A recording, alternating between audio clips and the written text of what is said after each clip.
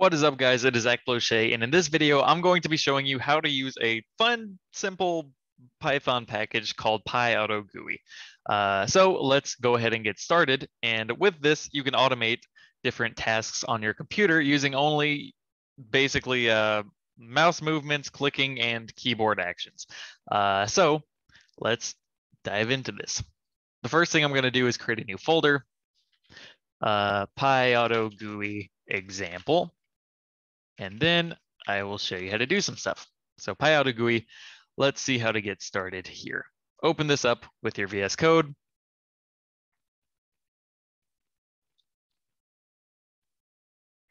Nice. Let's open up our terminal, do all of the basic setup stuff. So pipenv shell.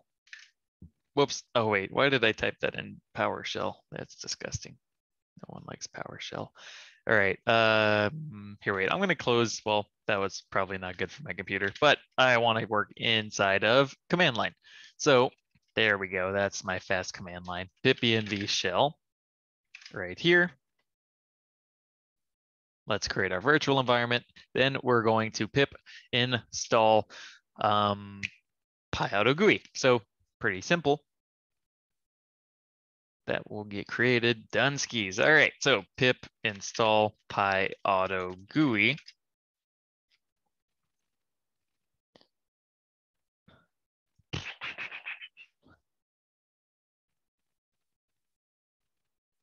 And we're going to build, um, let's see, what kind of an automation can we build?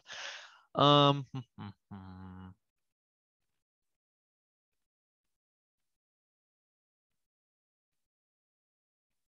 So I can show you just some simple stuff.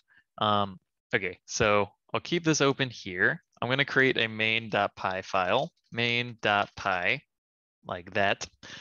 Uh, and in our file, interested in seeing API usage examples, blah, blah, blah, blah, blah. Okay, so I'm going to say from, or uh, yeah, from PyAuto GUI, now that we have it pip installed, uh, import click display mouse position here, wait, let me make this big so you can see it. Uh, so click display mouse position, um, typewrite, and um, honestly, I think that might be all we need. And possibly we might want to have the built into Python time module just so we can basically stop our project every once in a while when if when and if we need to. Uh, so let's see how to use this. So we're going to start off with this click function. So click, of course, controls your mouse position and um, immediately clicks in a certain spot on your screen.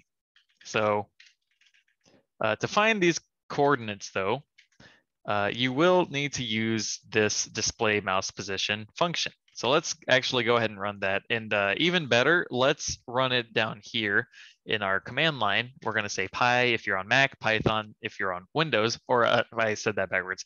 pi if you're on Windows, Python if you're on Mac, and uh, from PyAutoGUI import display mouse position. Now, why he wrote in camel case, I could not tell you, but we're going to use this anyway. Mouse position uh, oh, okay. So why didn't it just install Pillow then? All right, so we're gonna pip install P-I-L-L-O-W, Pillow for managing images.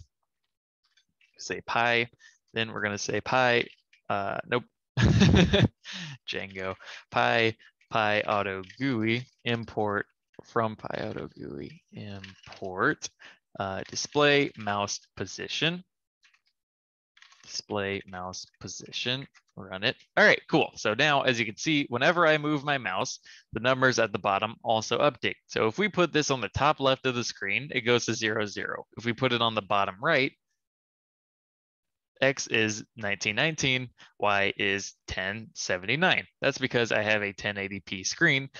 And uh, I guess that means it's 1080p by 1920. So let's see. So we find some position on our screen. Like if I want to click on this uh, reflector icon, or let's say I just want to open up dollar per hour calculator over here with my shortcut link, um, I would enter these coordinates. So that's going to be essentially 1850 and 300. So I can say click 1850 and 300, save that, whoops, save that, press play here. And boom, so my mouse automatically jumped there. Just to show you, I'm gonna press play, take my hand up, my other hand, and boop, boom, it clicked on dollar per hour calculator.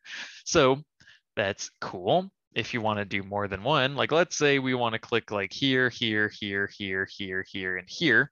Um, I mean, in that case, you would just, you'd have to run this same from PyAutoGUI, import display mouse position like that, and do that again. So normally you'd probably write all of these things down like as you're doing them. So you would just keep this running while you keep writing these things down. So this one is roughly, um, yeah, so it's still about 850 just to 175. So we can just copy this, say uh, 1850 to 175.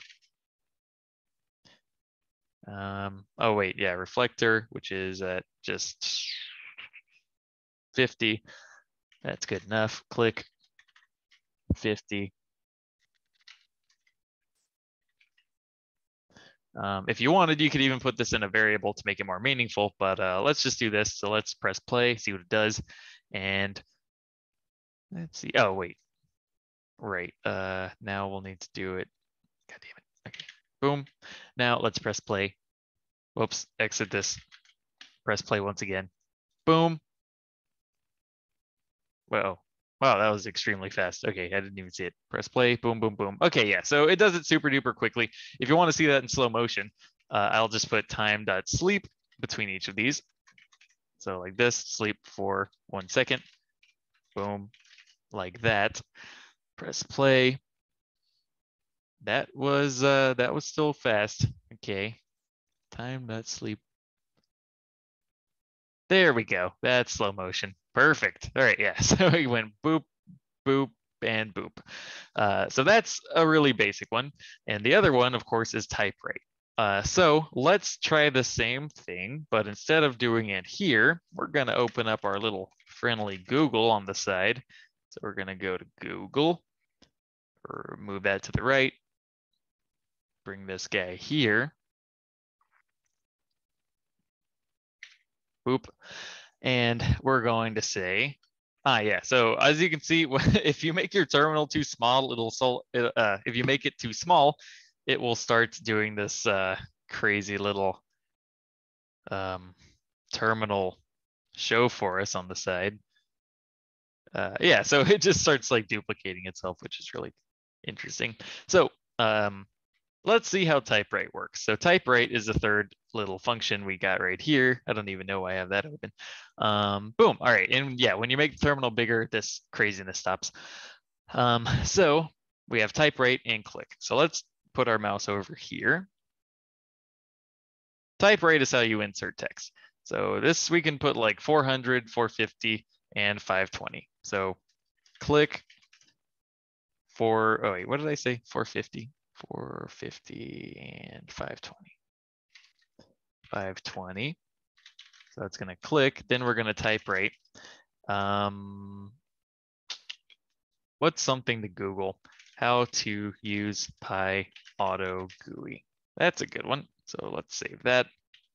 Oops, wrong button. Save and go here. And let's see if it works. Nice. All right. So that's done. Um, there is a way for it to press enter. Um, let's see. So typewrite. Uh, what is it? There's, I think there's also one called hotkeys or hot hot key. Hotkey. Then if you say enter, I think that'll work. Let's see. Let's press play.